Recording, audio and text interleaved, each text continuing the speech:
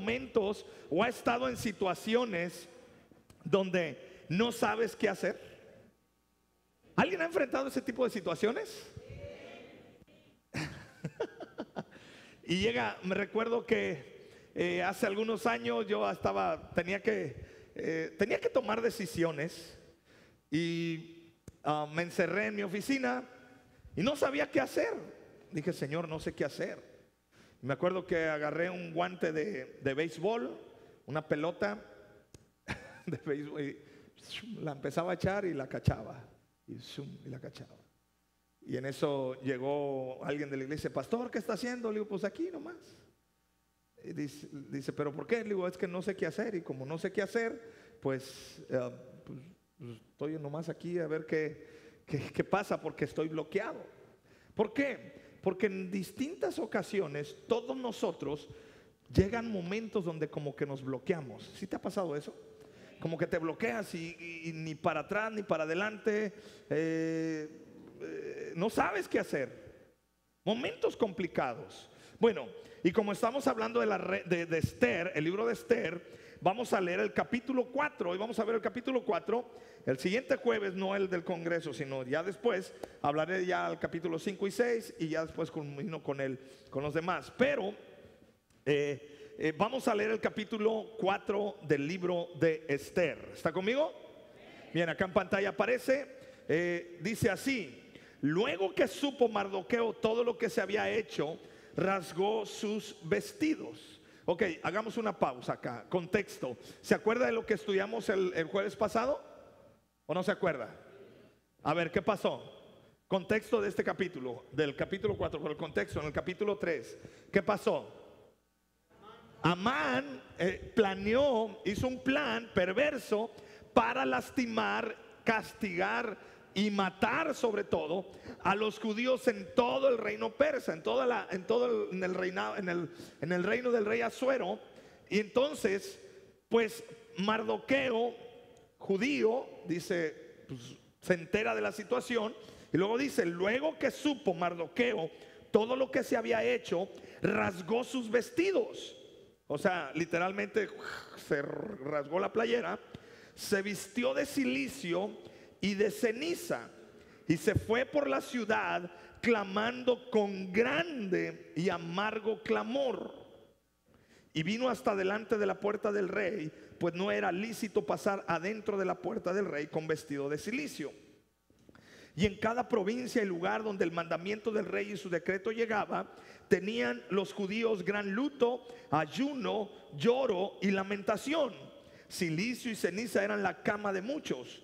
Y vinieron las doncellas de Esther y sus eunucos y se lo dijeron. Entonces la reina tuvo gran dolor y envió vestidos para hacer vestir a Mardoqueo y hacerle quitar el silicio.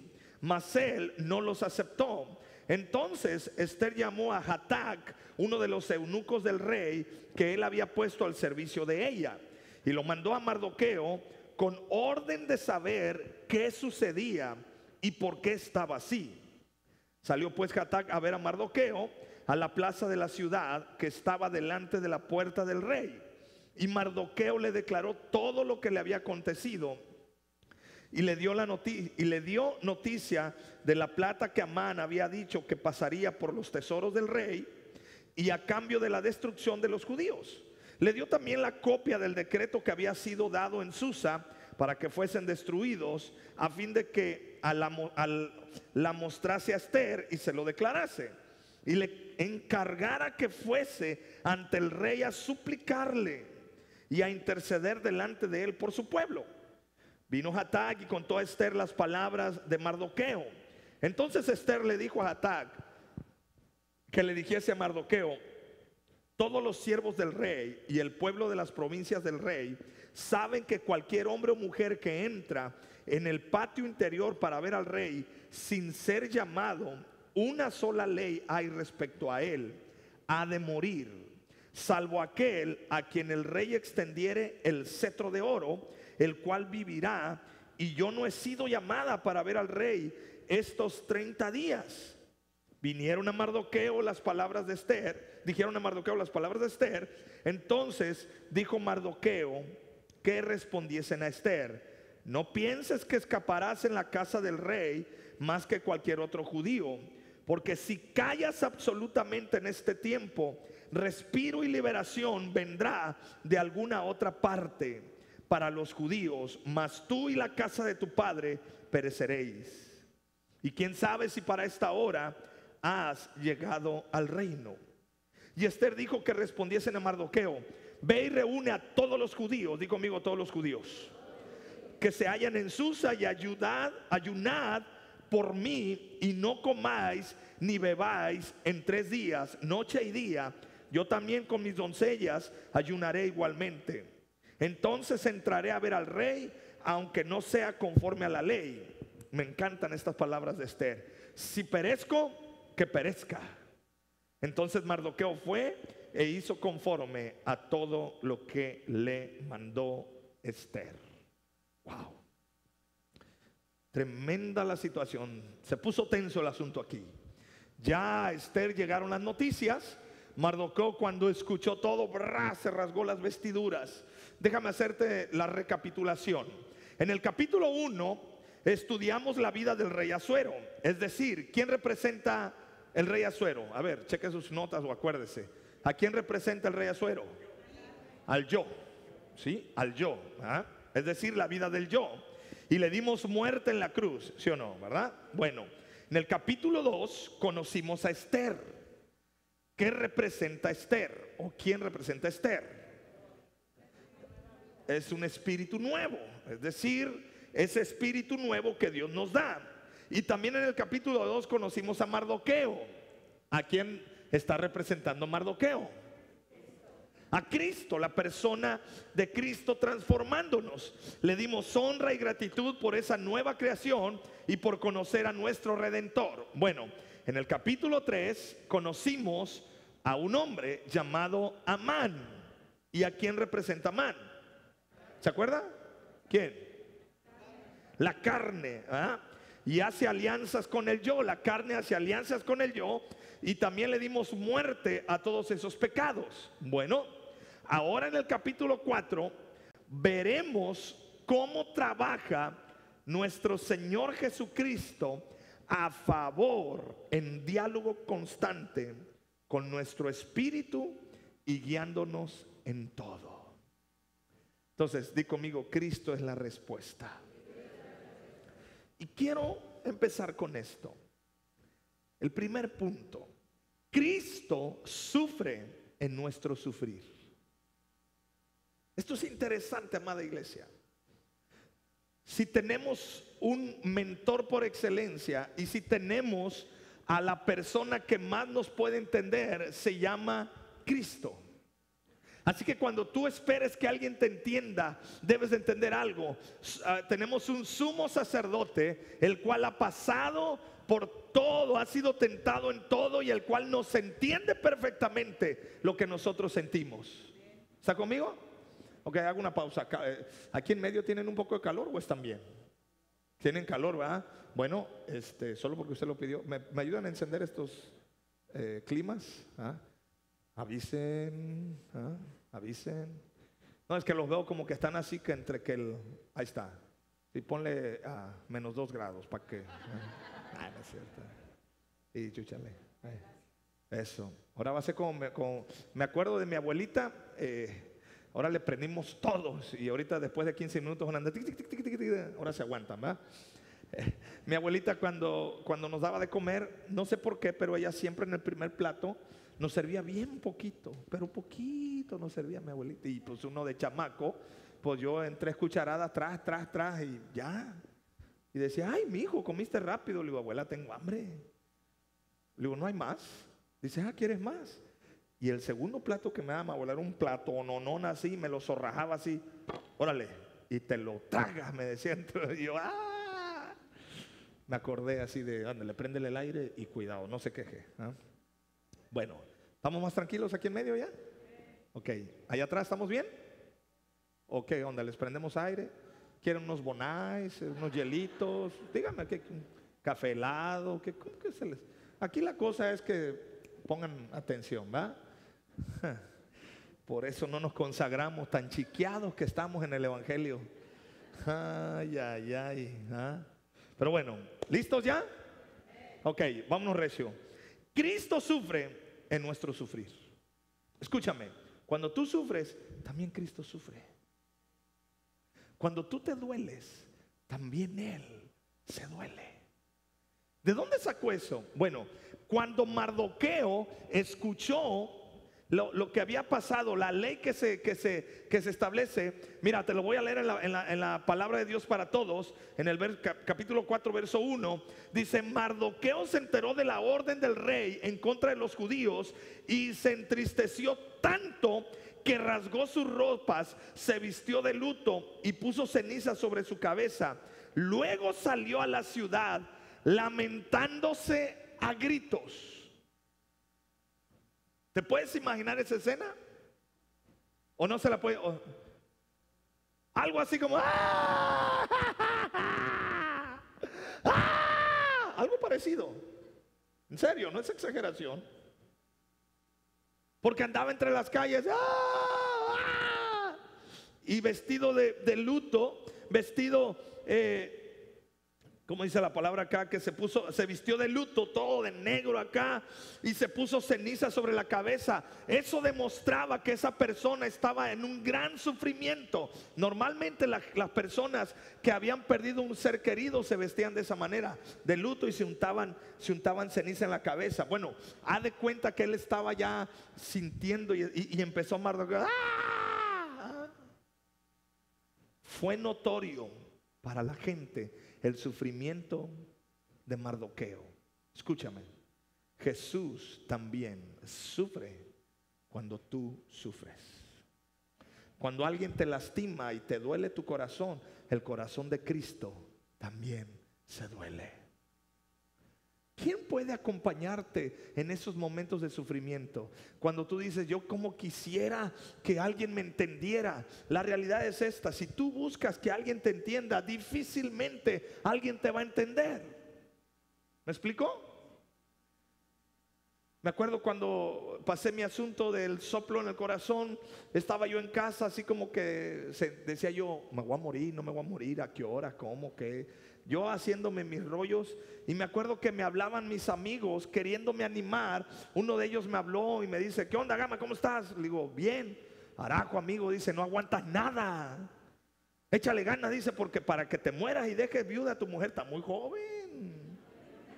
Cuidado. Y yo decía dentro de mí, acábame de matar. Y yo de, sí, brother, este, gracias. Ándale pues, eh. Y no te vayas a morir, eh. Órale pues. Y yo así de, o sea, como decir, ¿te, alienta de esas palabras? Digo, ahora no lo hizo de mala manera, pero hay una realidad. El único que sabe cómo es que se siente eres tú, ¿o no? Y a veces con un échale ganas, a veces con un, ah, ni aguantas nada. Y da coraje, es te voy a ser honesto, da hasta coraje que te digan eso cuando tú estás tronado en medio de la depresión, cuando estás sin dinero, cuando estás en sufrimiento, porque tú estás, solo tú sabes lo que estás sintiendo. ¿Me, me estoy dando a entender? Bueno, tranquila, tranquilo. Nunca esperes, eso sí, grábatelo, nunca esperes que alguien te consuele de la mejor manera como Cristo te puede consolar. Porque Cristo sí entiende y sufre contigo tu sufrimiento. Así que digo, amigo, gracias Dios. Así que digo que es otro, no está solo, no está sola. Hay otros que dicen, ¿cómo me gustaría tener una pareja para compartir mi sufrimiento? Ah, como que si te casaras para compartir sufrimientos, te van a mandar a volar. Vete allá a la sala a, llorar, déjame dormir. ¿Ah? Y uno dice, eh, vete, a dormir, vete a la sala a dormir. Porque te voy a decir algo, nadie te puede entender mejor que Cristo. Aquí tenemos una nueva característica de Cristo. Él sufre nuestro sufrir, Él percibe nuestro dolor, Él siente en nuestro sentir todo lo que Él anhela de nosotros y de su pueblo es amor y libertad. Te tengo buenas noticias, Cristo quiere lo mejor para tu vida. Diga conmigo, gracias Dios. Sí, nuestro Señor puede ser entristecido, claro. Así que cuando alguien ha abusado emocionalmente de ti, cuando alguien te ha menospreciado, indirectamente también menosprecian a Cristo. ¿No lo sabías? Porque somos hijos de Dios. Entonces Cristo también sufre. Y dice Jesús, oh, ¿cómo? Mardoqueo sabía absolutamente todo lo que estaba sucediendo. Aún antes que la reina Esther, porque déjame decirte, el Señor conoce todos los movimientos antes que tu mundo interior se den cuenta. Por eso Él sabe que te puede librar de una situación complicada. No te enojes cuando una puerta se te cierra. Tú no sabes de lo que Dios te está librando, porque Él conoce todo antes que tu interior sepa. ¿Puedes decir amén? No te frustres cuando algo no te salió. Probablemente el Señor te está cuidando de algo más allá.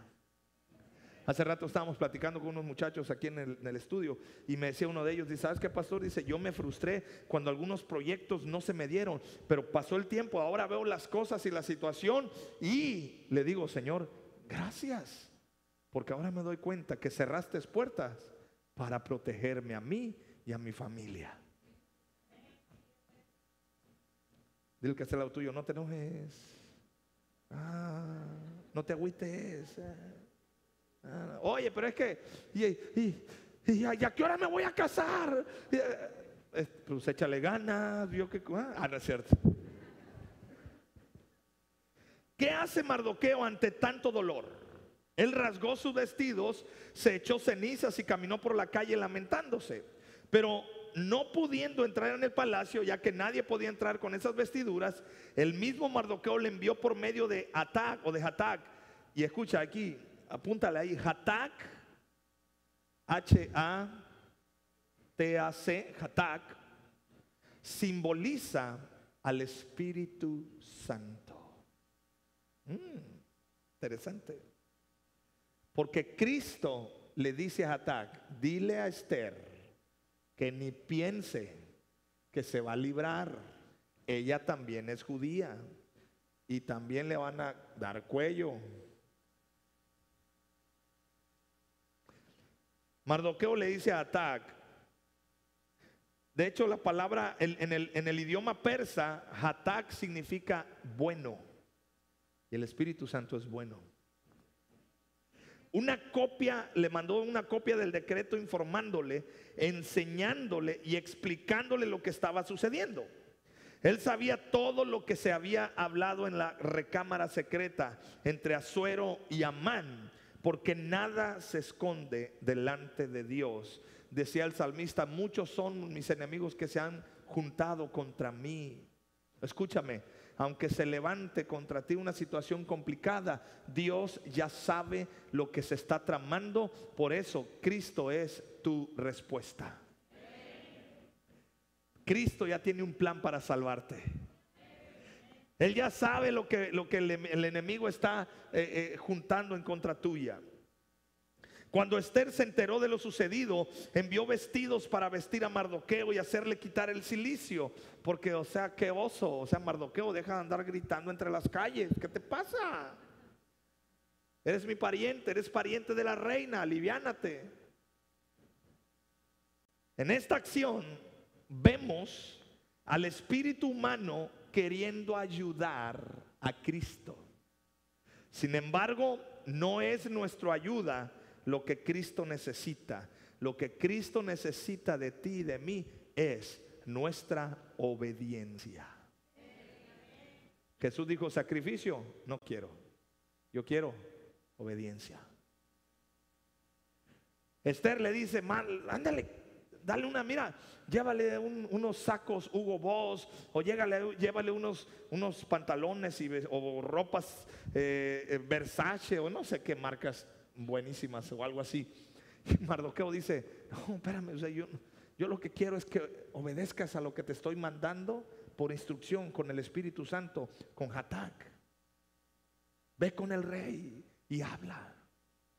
Escucha, en medio de nuestro dolor, lo peor que podemos hacer, y te lo hablo por experiencia, lo peor que podemos hacer en nuestro dolor es querer actuar para ayudarle a Jesús. Mal. Pregúntale a Abraham con su esposa, Sara, queriéndole echar la mano a Dios. ¿Ah? Porque es muy fácil, en medio del dolor, te voy a decir algo, dolor es tu peor consejero. Peor consejero, dolor, angustia, desesperación. Lo que queremos es ayudarle a Dios. Ah, mira, eh, mira, Señor, respáldame, Padre, yo voy a hacer eso. Cuando Dios dice, es que, espérate, o sea, no. Obedéceme, yo tengo ya un plan para, ya tengo la, yo soy la solución, te dice Jesús. Dile, dilo conmigo, Cristo tiene la solución. Dile que está al lado tuyo, ya Cristo tiene la solución. Ya. Pues que le eche ganas porque no me doy cuenta. Cristo ya tiene la solución. A esa situación, a esa falta de recursos, Cristo ya tiene la solución. ¿Qué tengo que hacer yo? Oír al Espíritu Santo y lo que Él diga, yo lo tengo que obedecer. ¿Dónde está el problema? El problema está en que no nos gusta lo que nos dice y mucho menos queremos obedecer. ¿Ah? Segundo, Él lo sabe todo.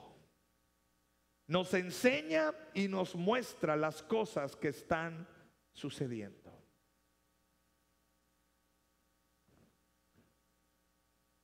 Siguiendo la historia, vemos que Mardoqueo le hizo saber a la reina Esther todo lo que le había acontecido y lo que estaba sucediendo.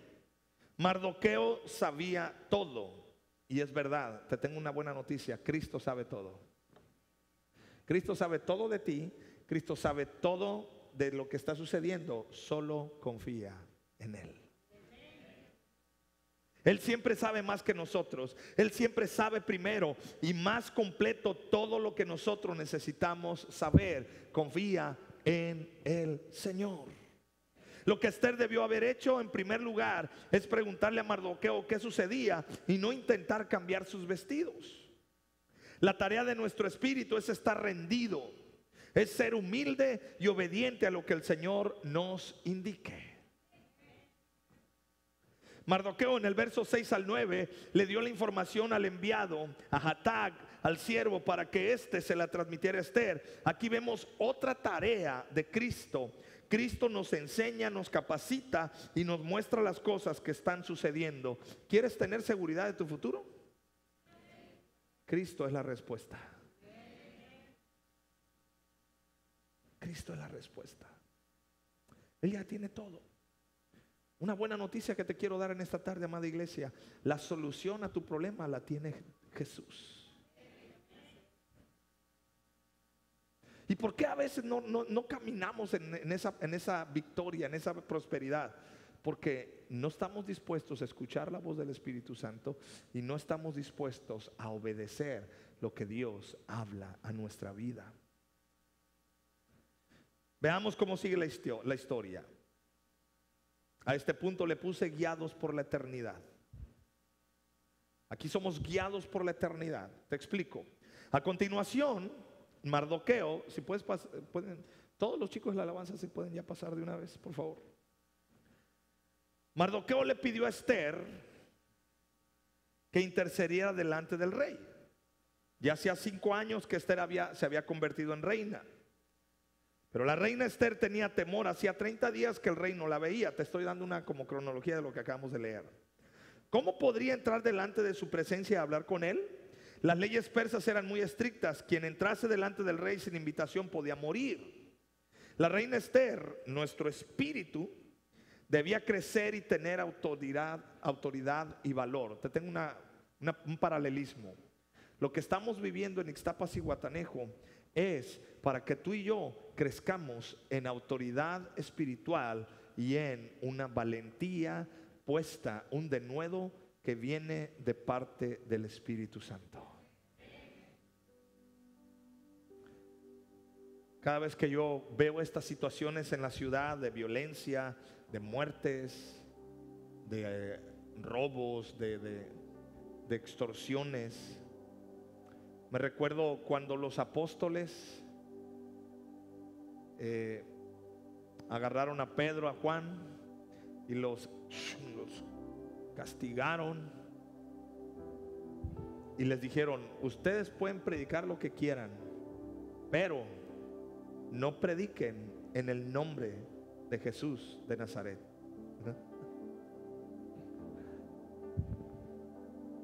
Y a mí me impacta lo que hicieron estos hombres. Llegaron y ¿sabes cómo salieron de ese lugar?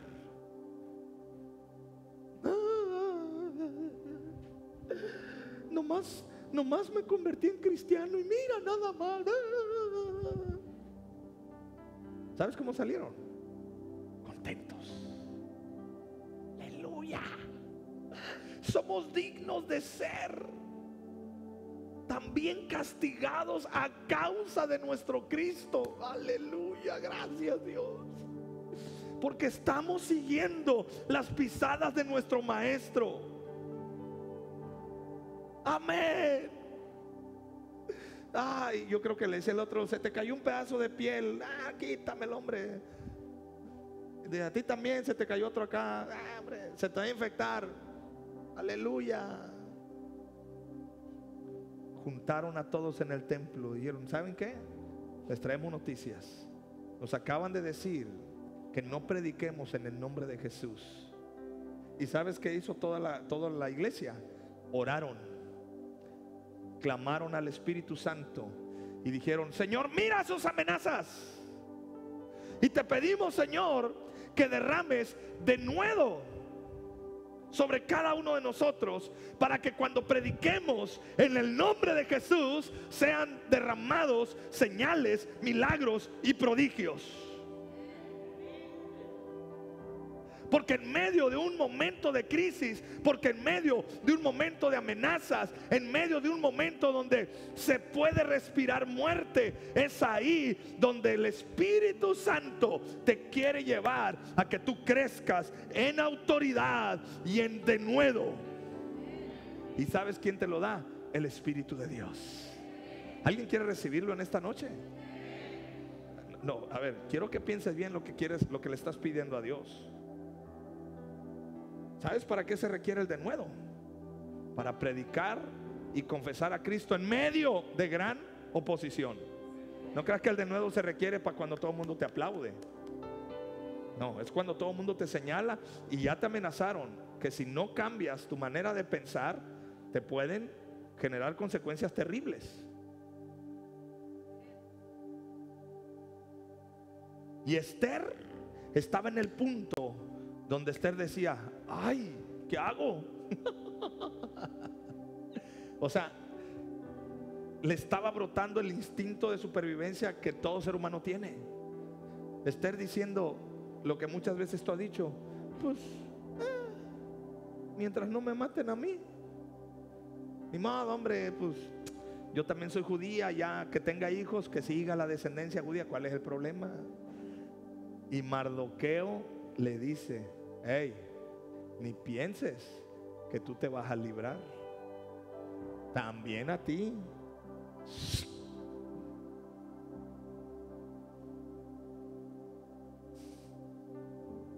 No pienses que escaparás, le dijo Mardoqueo. Aquí vemos que él habla más fuerte, que aumenta el volumen de su voz. Ha llegado para esta hora al reino, le dijo. A Básicamente Mardoqueo le dijo, mira niña, hey, reacciona. Para esto Dios te hizo reina. Hey, iglesia, para esto Cristo ha derramado la sangre, su perdón y su misericordia para este tiempo. Y para eso el Señor te ha bendecido. Para este tiempo el Señor te ha prosperado. Para este tiempo el Señor te ha guardado de enfermedades y del virus. ¿Para qué? ¿Para que nos escondamos o para que brille la luz de Cristo en nuestro corazón? Porque somos la luz de este mundo, somos la sal de esta tierra. No creas que es para que, ay Padre, ay, es nada. Del que está al lado tuyo, esfuérzate y sé valiente. Esfuérzate y sé valiente. Nosotros tenemos un propósito. El Señor no nos salvó. A ver, agárrese de la silla. ¿Alguien quiere ser feliz? Te tengo una noticia. Cristo no te salvó para que fueras feliz. Ay, no. Dice el corito que solo Dios hace al hombre feliz. Bueno, el hermano que compuso ese corito así percibió a Dios. Yo creo que se había divorciado porque nomás dice, solo Dios hace al hombre feliz, solo Dios. No habló de esposa, no habló de hijo, no habló de...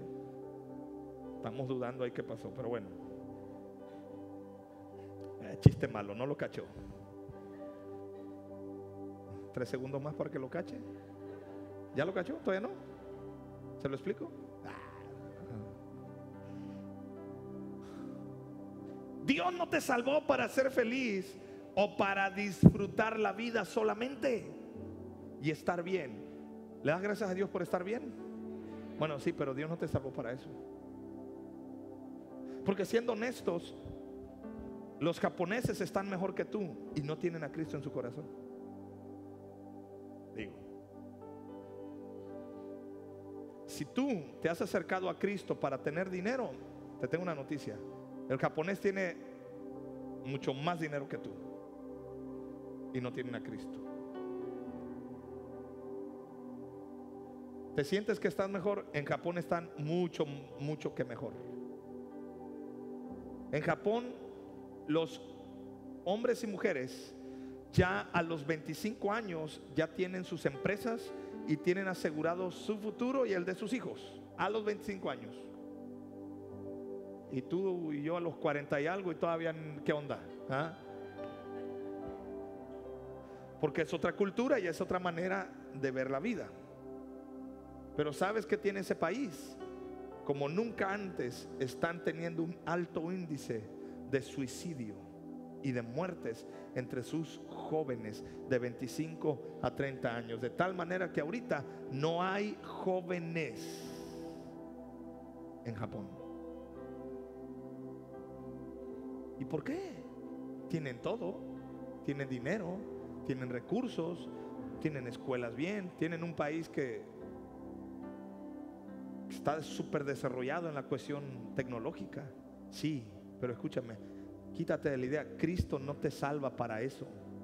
Cristo te salva para un propósito, para que te conviertas en la luz en medio de la oscuridad. Fuimos salvos para ser transformados a la imagen de Cristo y liberar a muchos. Para que nosotros también llevemos las buenas nuevas a todas las personas. Para eso Cristo te salvó. ¿Cuándo fue la última vez que tú le predicaste las buenas nuevas, las buenas noticias a alguien? Porque si no es así, entonces no estás cumpliendo con el propósito de Dios. Y simplemente estás viviendo una muy bonita religión para ti. Pero Cristo no solamente es para mí, Cristo es para ser proclamado a los demás. Toda la guía del Señor en nuestra vida tiene un propósito sublime, alto y grande. Así que te quiero dar un consejo. No te niegues a hacer lo que Dios pide. ¿Me estás oyendo? No te niegues a hacer lo que Dios pide. Ay, pero ¿y si me matan?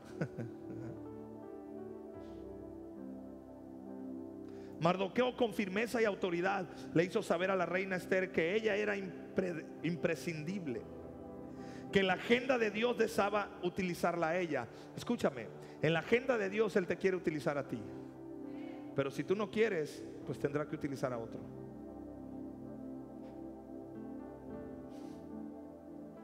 Que si ella no obedecía amorosamente, Dios utilizaría a otra persona. En Apocalipsis capítulo 3, verso 11, declara lo siguiente, he aquí yo vengo pronto, retén lo que tienes para que ninguno tome tu corona. Ah, caray. O sea que alguien puede tomar la corona que me... Sí, si tú no quieres. Sí. Ay, pero es que como que, como que, ay, es que luego lo checo, luego, Señor. Dios dice, alguien va a tomar tu corona. Por eso dice Apocalipsis a la iglesia, retén, cuida. Por eso Apocalipsis nos dice que nadie tome tu corona. No habla de que nadie te la robe. Dice que nadie tome. ¿Sabes por qué dice que nadie tome? Porque Dios agarra y dice, con permiso, ten, a ver, ten, órale. Digo, era para ella, pero pues no quiere, está pensando, está haciendo cálculos, está checando si le da, no le da, ta, ta, ta, ta, ta, que tengo que hacer esto, que tengo que hacer, Ah, tú sigue haciendo cuenta, espérate, ten, órale. Buenas noches. Y sabes, qué tragedia sería que llegáramos delante del Señor y que Dios dijera, mira, aquí está esta corona.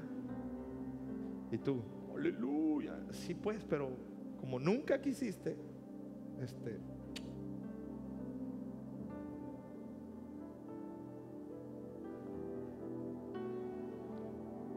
Pero Señor,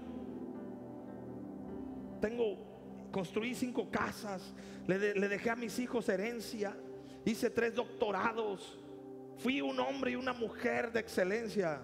Like por ti. Pero lo que te pedí, no lo quisiste hacer. Esther estaba en esa encrucijada. La misma en la que estás tú, la misma en la que estás tú, joven, señorita. He escuchado jóvenes que me dicen, oh, pastor, o sea, a mí sí me llama la atención de servir a Dios, pero pues, o sea, yo quiero, quiero asegurar mi futuro. Digo, eh, que me digas asegurar tu futuro es una falacia. ¿Por qué? Porque es como que si me dijeras, quiero asegurar que voy a vivir 100 años. ¿Quién puede asegurar que va a vivir 100 años?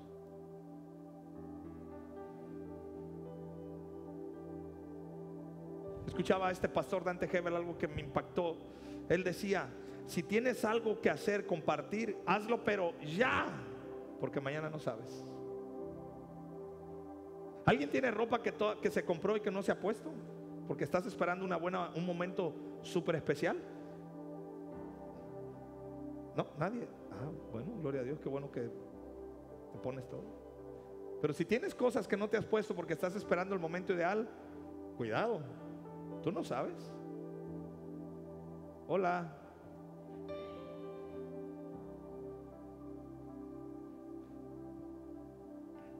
Yo por eso cuando me compro hasta los calcetines nuevos, ya me los voy a poner ahorita de una vez para pa de una vez.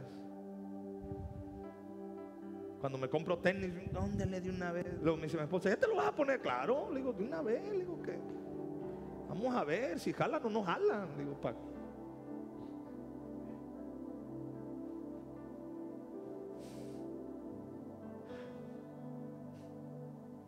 Esto sucede cuando sencillamente nosotros la entregamos, hablando de la corona, por negarnos a hacer lo que Dios nos pide. No te niegues a hacer lo que Dios te pide. Te va a costar mucho, sí, pero valdrá la pena. Mardoqueo le dijo que alivio y liberación vendrían de algún lado. Es decir, que debía tomar una decisión, una acción.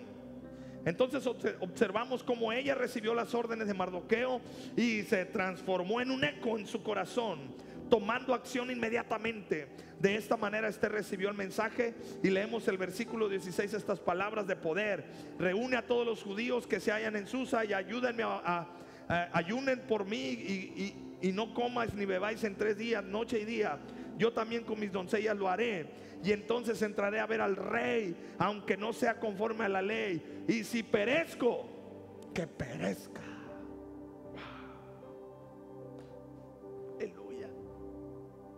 Necesitamos convertirnos ya en este tipo de cristianos. ¿Sabes cuál es el detalle?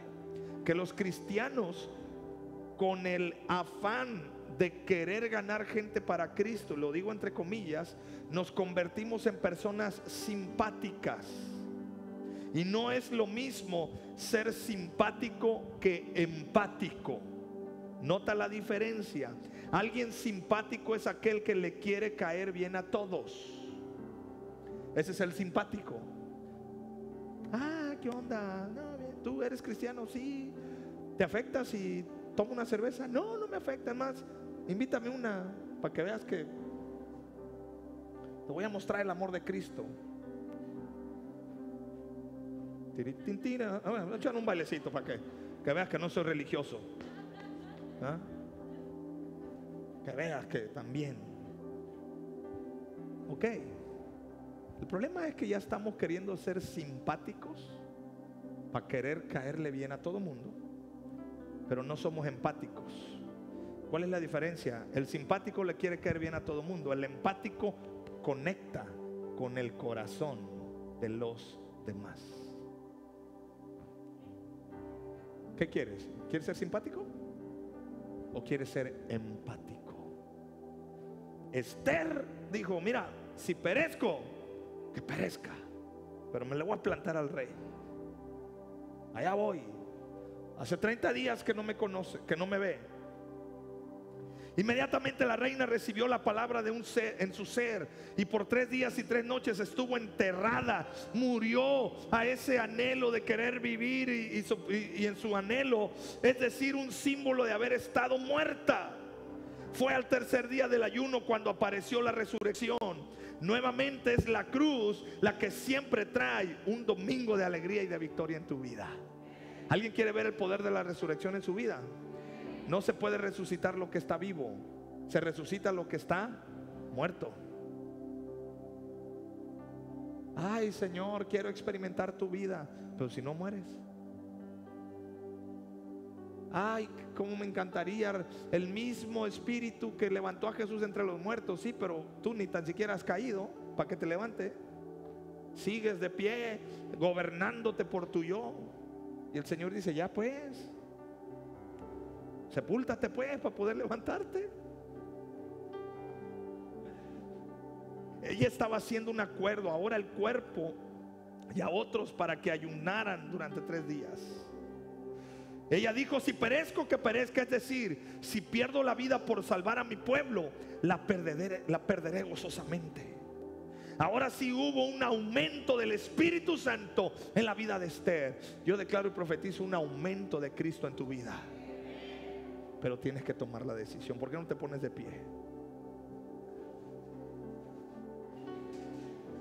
Quiero hacer un paralelismo entre la vida de Esther y de Ruth. ¿Te acuerdas que estudiamos la, la, vida de Ruth? Ruth fue una gentil que vivió entre judíos, ¿te acuerdas? Esther fue una judía que vivió entre gentiles. Ruth se casó con un judío, Esther se casó con un gentil. Ruth conoció a vos. Si se acuerda de lo que hablamos de Ruth, vos, ¿a quién simboliza? A Cristo. Esther creció con Mardoqueo. Mardoqueo, ¿a quién simboliza? A Cristo. Ruth trajo descendencia al Salvador. Esther trajo liberación a toda una nación. Ruth dejó su tierra para vivir en la tierra de Israel Esther no volvió a la tierra de Israel y se quedó a vivir en tierra extraña. Aquí están los paralelismos. Y ahí te va un poquito de, de, información. Esther es un nombre persa que significa estrella. Así que si tienes una amiga que se llama Estrella, dile, ah, eres Esther. Lo mismo. Su nombre hebreo, a ver, ¿alguien se, se acuerda cuál era su nombre hebreo? Hadassah. Que significa mirto. Un arbusto precioso, siempre verde, aromático, intenso. Ese era el mirto. Hadassah significa mirto. Esther significa estrella. Así era Hadassah, Esther, una estrella aromática, tanto en el cielo brillando como en la tierra perfumando. Ella unió ambos mundos. Así era ella y así somos nosotros. Todos los que recibimos a nuestro Salvador como en nuestras vidas. Cristo te quiere dar una nueva aroma. Y Cristo te quiere hacer brillar. ¿Tú lo quieres para tu vida? Cierra tus ojos. Él es la solución. Cristo es la respuesta.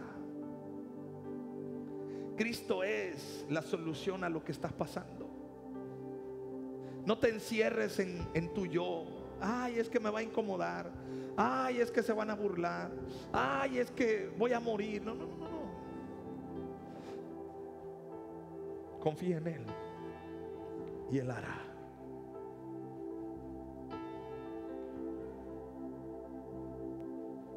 Repite conmigo esta oración.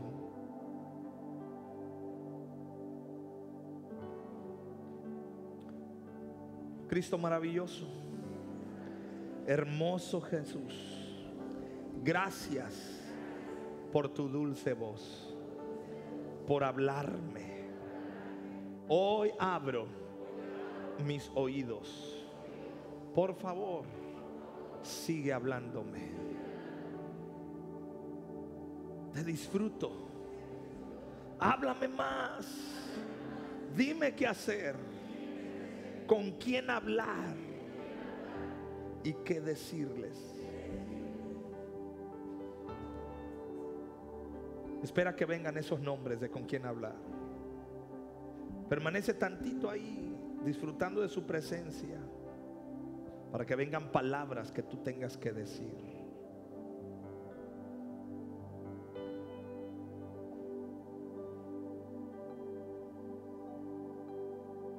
Espíritu de Dios, fluye, háblanos, Señor Jesús. Te abrimos el corazón, escucharte a ti, Jesús, el latir de tu corazón, amado Jesús, amado Dios, háblame, yo quiero escucharte. Y ahí el Espíritu Santo te da la instrucción. Porque Jesús ya conoce todo. Porque Jesús sabe perfectamente lo que estás viviendo. Él sabe perfectamente cómo te sientes. Él sufre con tu sufrimiento. Él sabe perfectamente a dónde tienes que dirigirte. Solo es cuestión de que le escuches hablar. Jesús, Jesús.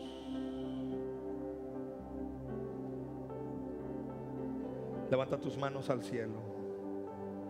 Dile, Señor, yo recibo de tu gracia y te doy gracias. Úsame, trae alivio y respiración a mi vida. Y úsame para que muchos sean liberados. Recibe esa unción, recibe esa gracia. Vamos, recíbelo en el nombre de Jesús ahí. Ahí. Ahí está descendiendo sobre ti. Oh Jesús, fluye, fluye, fluye Jesús. Llena, llena los corazones, Padre, llena las vidas. Ahora en el nombre de Jesús. Él viene y te abraza, Él viene y te llena. Vamos a adorar.